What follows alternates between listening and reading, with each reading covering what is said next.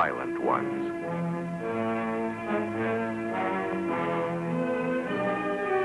On the shifting sands, the story written by forbidden feet.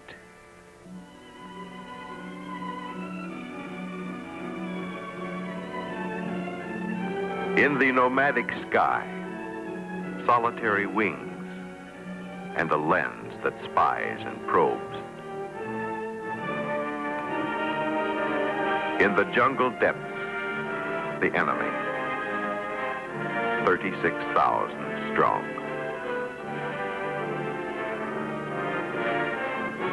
In our hands, shreds for evaluation.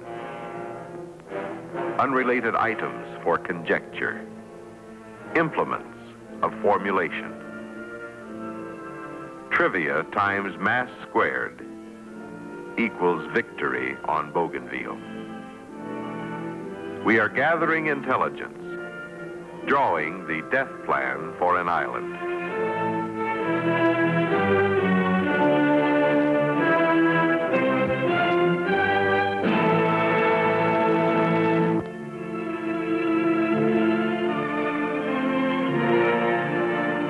Here is your host, General Holland M. Smith, former commanding general, Fleet Marine Force, Pacific Area, United States Marine Corps. General Smith, was it possible to bypass the island of Bougainville? No, Bougainville could not be bypassed. In May of 1943, our growing air and naval strength forced the Imperial Japanese High Command to reevaluate its strategy.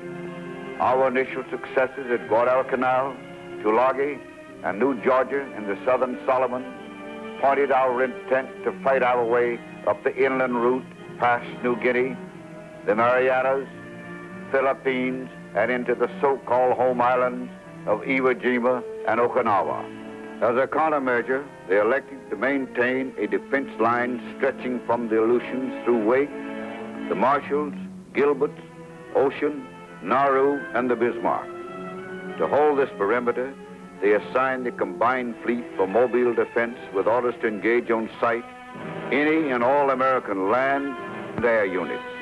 And since the southern key strong point in this defense system was Rabaul,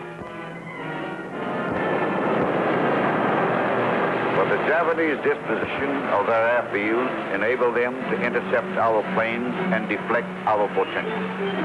Because of its strategic location, there was never any doubt that we would fight the Japanese for the island of Bougainville. It was inevitable.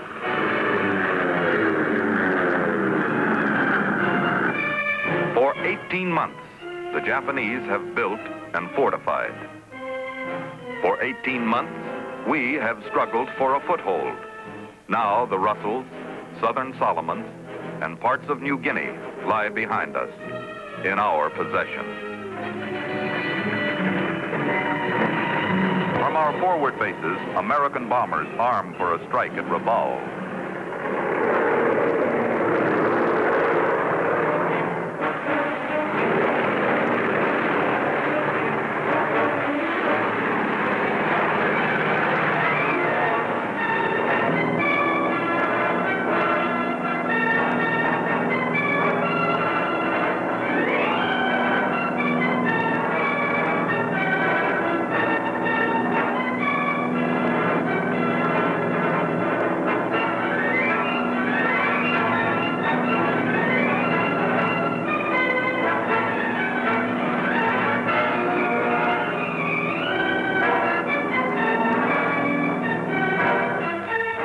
Warned by observers, the Japanese clear their fields, send a massive armada to intercept.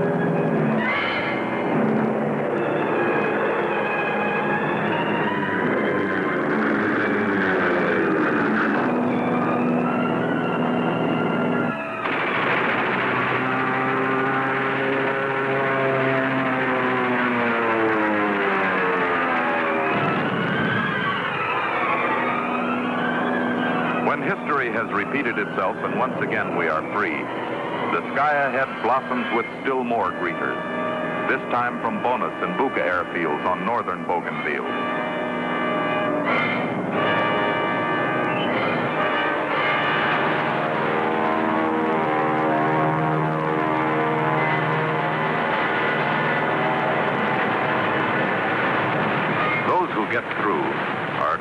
By the knowledge that the planes from only six more fields, Rapopo, Tobera, Ranakanao, and Lakunai on New Britain, and Namatanai and Borpop on New Ireland, stand between us and our target, Rabaul.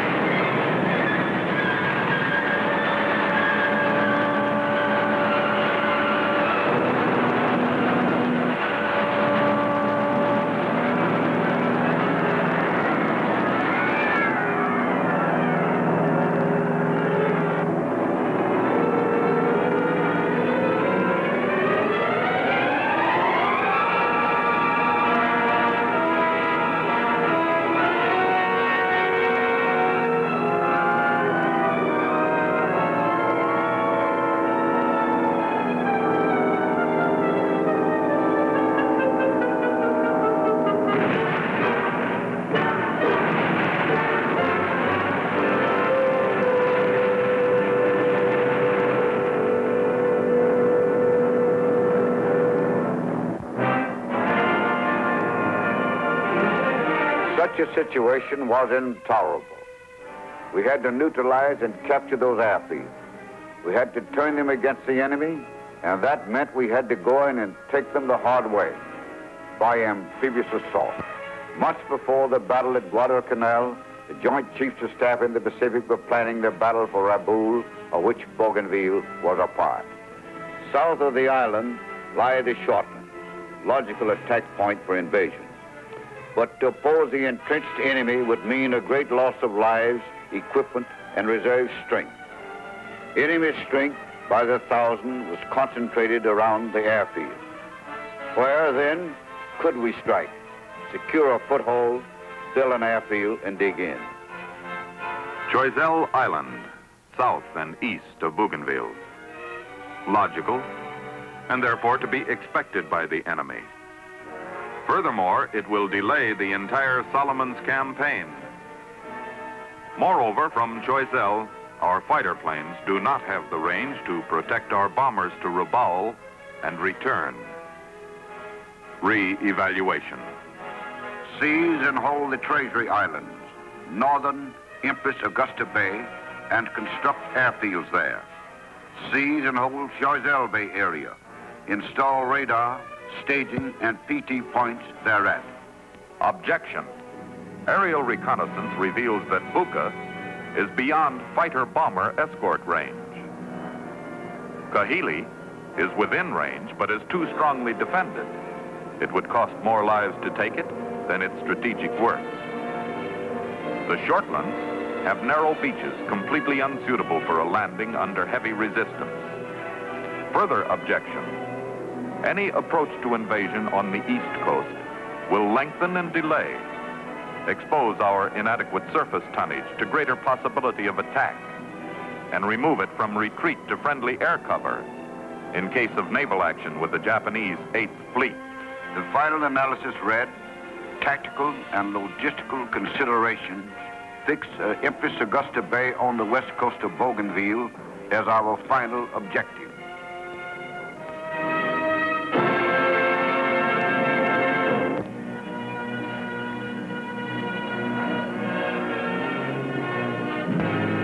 Intelligence units go into operation on a scale heretofore impossible.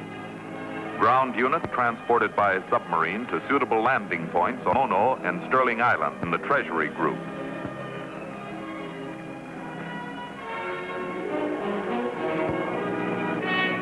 Others will proceed by PT boat to Choiseul Island. Still, if no land contemplated there. Good old American If the Japanese find evidence of our presence, they will misinterpret our intentions. We will use Choiseul as a feint to deliver the knockout blow elsewhere. Prime patrols will scout Bougainville, observing and mapping the terrain, Japanese installation, strength, connecting trails, and general ground conditions. In the Kieta and Numa Numa areas, seaplanes are used. Offshore, naval parties sound and map the coastline. Depth, average rise and fall with the tides. submerged reefs, obstacles, and beach depth.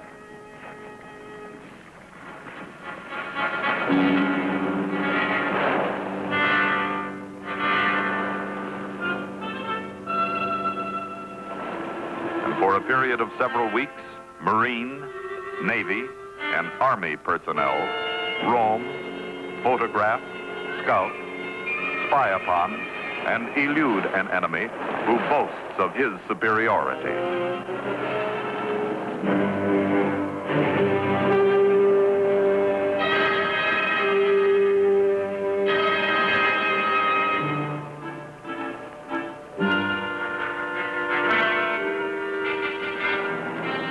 Photo recon planes roam the length and breadth of the Solomon Group. Trails, rivers, mountains, enemy emplacements, all are photographed. This open space is unsuitable for an airfield because the mountains at either end make it hazardous. But this area is completely suitable and can be bulldozed, planed, filled, graded, surfaced, and in operation within 30 days. As the information is digested at Guadalcanal, certain facts become fault and certain faults become fact. The coastlines are as much as 10 miles removed from their location on existing maps. Waters charted as safe actually hide the shallow presence of dangerous reefs, shoals, and peaks. The night landings under contemplation have to be abandoned. We will assault in daylight so the ships will not run afoul of these obstructions. Aerial photographs show no troop movements toward the Empress Augusta Bay area. All enemy activity is centered near his airfield in anticipation of an all-out frontal assault. He is not expecting attack on the east coast. He has not guessed our intention. Then in October 1943, Coast Watchers get the word through. There are anti-aircraft emplacements and slit trenches being constructed in the Empress Augusta Bay area. From a submarine, we land another patrol.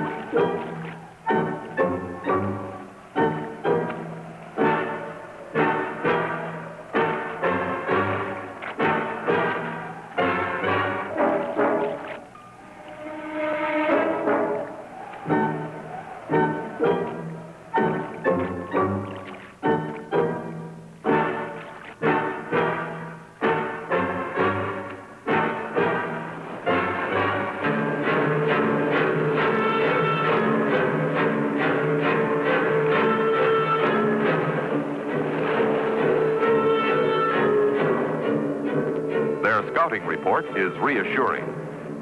Routine installations and no concentration of troops in the scheduled landing area.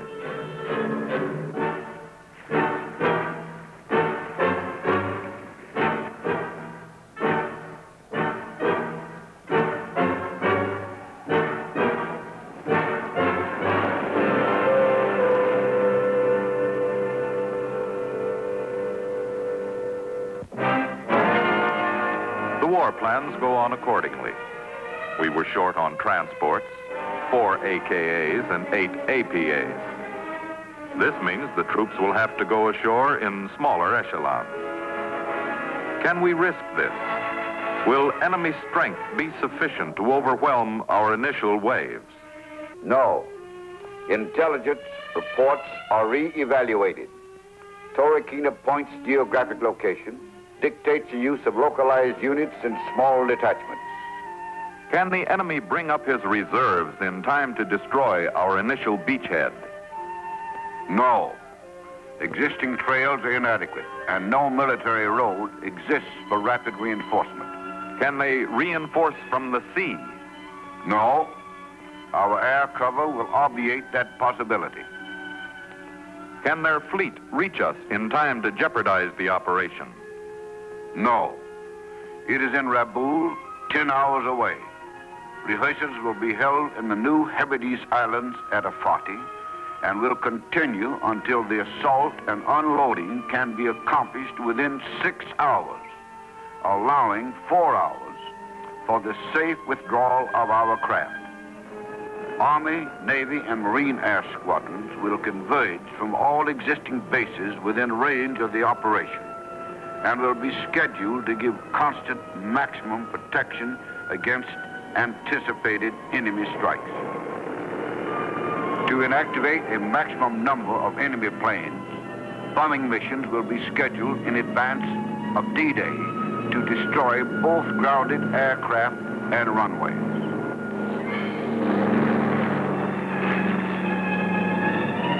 On D-Day, naval units will concentrate their fire upon the attended landing areas and strong points. High-level bombing missions will be flown, closely followed by low-level strikes and strafing. The task forces will furnish cover for the amphibious landing. As diversionary measures to screen our real intent, the combined air forces will seek out and engage all Japanese naval units within the area, and a bombing mission will be sent over above.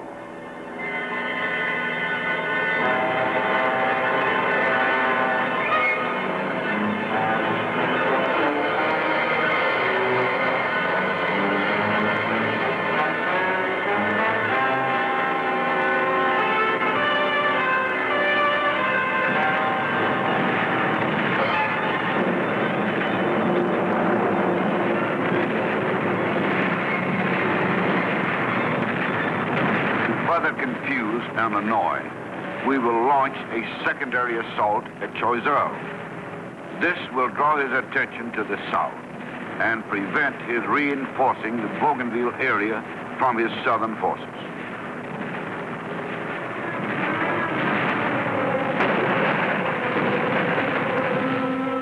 Task Unit A1, 3rd Marine Division, reinforced, organized into four landing teams, embarks October 13 from Tetere, Guadalcanal. Cargo for each team, 520 tons. From 16 to 20th October, they engage in rehearsals. Maps of their objective are studied, enemy strong points located, and methods evolved for neutralizing them. When each man, in each squad, in each platoon, in each company, knows his part in the operation, they go ashore and put into practice what they have absorbed in theory. Task Unit A2, 9th Marines Reinforced, stages their rehearsal 18 to 25 October. And Task Unit A3, 3rd Defense Battalion, conducts its operations at Guadalcanal 26-29 October.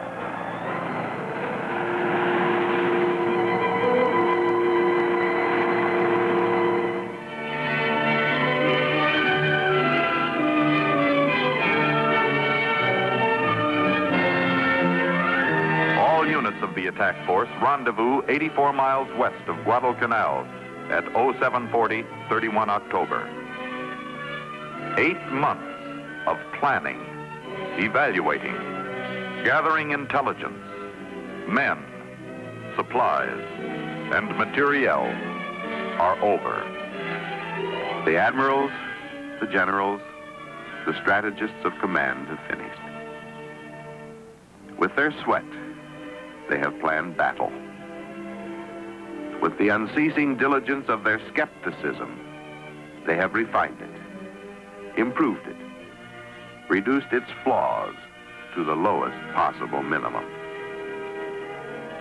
From compassion, they have chosen the course which offers the greatest possible chance of survival to their comrades, the officers and men of the Marine Corps who serve under them. From necessity, they have accepted inadequate sinews of war. By placement and superior utilization, they have multiplied their strength a hundredfold. Before the Almighty God, who has been and is and must ever be the mainstay of our free nation, they bow their heads, thankful for whatever portion he has inspired in their final plan for victory.